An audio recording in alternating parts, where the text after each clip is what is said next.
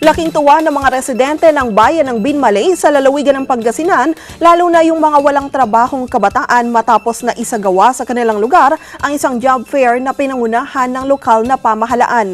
May report si Alejandro Javier. Dinagsa ng mga daang-daang aplikante ang isinagawang job fair sa bayan ng Binmali, lalawigan ng Pangasinan para sa kanilang 425th founding anniversary sa pangunguna ng Provincial Employment Services Office o PESO at Department of Labor and Employment o DOLE.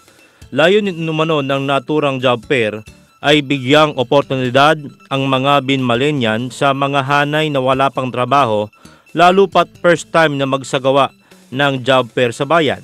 Kaya hindi pinalampas ng mga aplikante ang ganitong oportunidad, lalo pat priority ng mga kumpanya ang mga tubong binmali.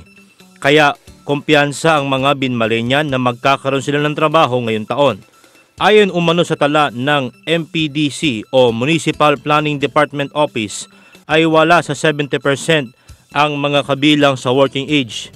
Kaya plano umano ng Peso Binmali ay gawing 80% to 95% ang mapabilang sa working age. Mula dito sa Binmali, Pangasinan, Alejandro Javier, Eagle News.